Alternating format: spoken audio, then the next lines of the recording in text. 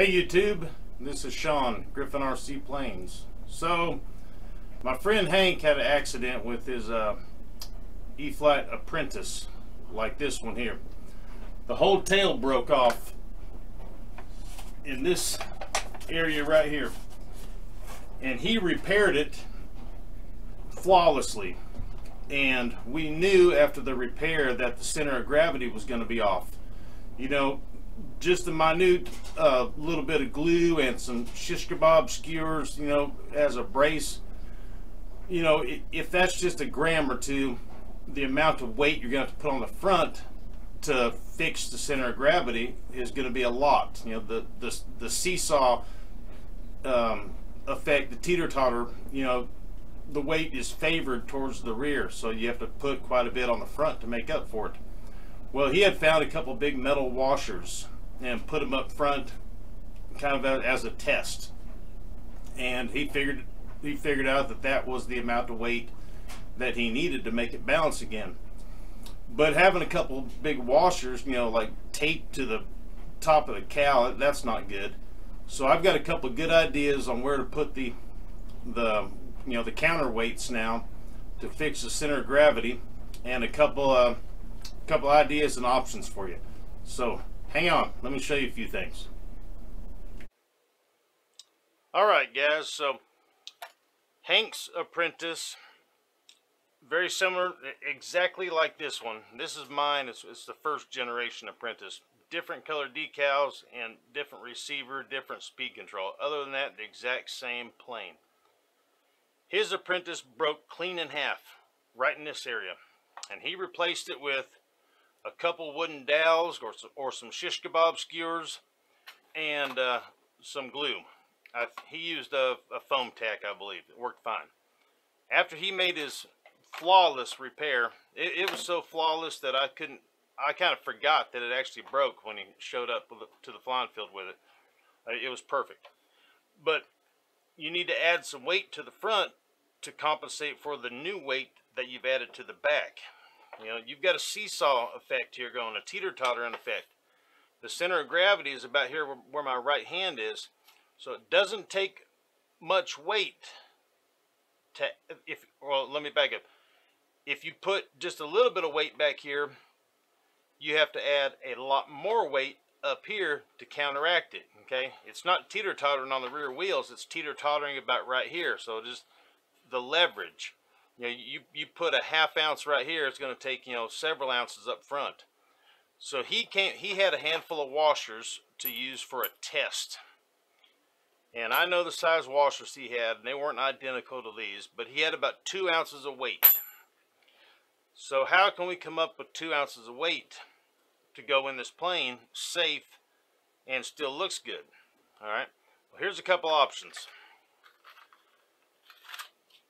This weight right here in my hand, they're made for like Pinewood Derby cars.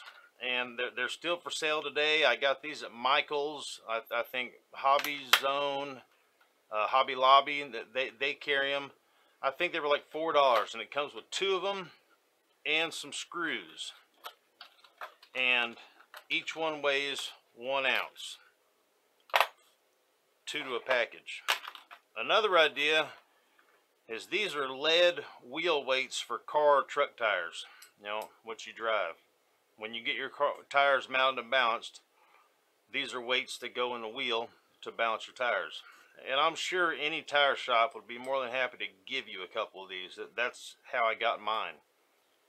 You know, there's when they take them off, when people buy new tires and, and then they're supposed to throw these away or recycle them, but you know, I don't think they do that. But anyways, they'd probably give you a handful or, or they'd probably sell you one for a quarter. I took a drill and drilled a hole through here. I've done this in the past. It, it's going to take a sharp drill bit and, and, a, and a drill and, and a little bit of a, a little bit of muscle to do it because you are drilling through lead. But we've got two different sizes here to work with. What I've got here is a a test apprentice. Look at the size of this weight here, how it can go right in the cowl. And this other one can go on this side, but you'll need to trim off about that much of the corners on both of these right sides here to get the cowl to go back on. And you can cut this off with a pair of side cutters or wire cutters. You know, if you don't have that, you might be able to go grind it down on the edge of a sidewalk or something. And and then the wheel weights, which I've used before, they will fit on both sides, no problem. These both weigh one ounce, a considerable size difference. This is probably probably steel or, or something like that, or a lead and steel mixture. And it's kind of it's a soft metal of some sort. The reason these notches are here is because you can break off little pieces to fine tune how much weight you need, I guess, for your Pinewood Derby car. I, I never did a Pinewood Derby car. I think that'd be cool to do someday. But hey, when you make a repair to, to any airplane, especially in the rear, just a couple wooden dowels and a little bit of, glue takes a whole lot more weight on the front end to get your center of gravity back.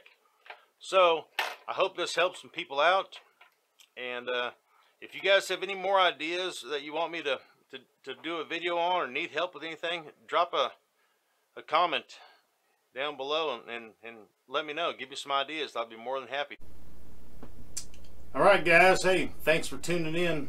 Hey, if you've got any ideas on um, some kind of video you want me to put out, you need help doing something, drop them in the comments below. And please like and subscribe and share. It goes a long ways. Thank you very much. And until next time, you'll see me here.